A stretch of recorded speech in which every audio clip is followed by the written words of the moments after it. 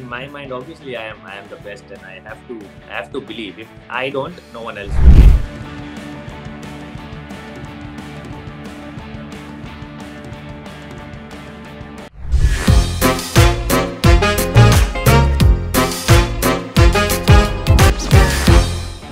So now you've made a terrific comeback in the Test cricket. So what about T20Is and ODIs? Do you have any plans for those two formats?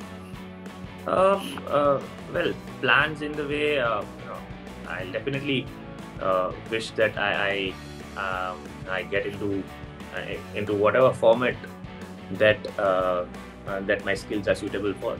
Uh, I've been developing my uh, my white ball game as well. I've done well uh, in uh, in Vijay Hazare this year, and um, I've been bowling well throughout. And as, as a bowler, I think it's all about confidence. If I'm confident enough, uh, the formats don't matter. So yes, I'm I'm I'm just going with the flow. I'm gonna take it uh, one tournament at a time, be it the Ranji Trophy or be it the national call-up when it when it happens again. Uh, uh, whatever format it is, I am up and ready for it. Now that I have got this confidence under my belt, uh, I'm sure I'll be able to cope up with whatever format comes my way. IPL is coming, and uh, Lucknow Super Giants secured their services uh, for IPL 2023. So, you have any special preparations for that, like mentally, physically, or any sort of preparations that you're special preparations that you're doing?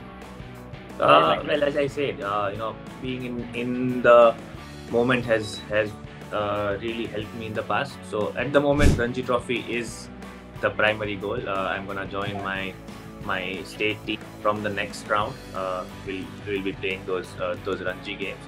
So at the moment, it's about uh, that. And uh, once that gets over, uh, you know, I start preparing for the IPL which is which still is about a couple of months away. But yes, I did have a word with KL, and uh, um, you know he's he's also uh, he was also happy that I am a part of of the Lucknow Super Giants now. So hopefully, you know, I'll be able to contribute there as well. And like I said, you know, uh, I've been I've been bowling well with the white ball, so um, I'll I gain more confidence uh, in those practice sessions before the tournament and hopefully we'll be ready for uh, for a successful IPL stint with them. Uh, you have played for so many franchises. So, like, which trans- which franchisee do you rate the highest in terms of uh, being involved, evolve you as a bowler?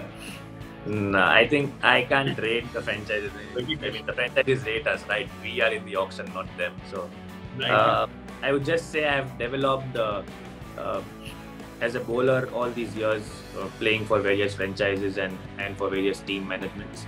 Uh, there have been various coaches who have been part of those setups as well. So that has benefited me along the way. Uh, you know, talking to some of the uh, greats of the game. Uh, you know, be it Mumbai Indians last year or uh, be it KKR where I started my my IPL journey, where I got to spend time with Wasim Bhai and and everyone in between. I think I've, I've had the the chance to interact with a lot of uh, greats of the game, and uh, the fact that I've played for various teams has actually uh, helped me to do that, and that has only made me a better bowler. But yeah, I would I would now wish that uh, you know uh, I do well for one team now that it is LSG. So you know I'll I'll wish that I'll do well for them and that they keep me uh, uh, as as their as their uh, prime player for the rest of my career, hopefully.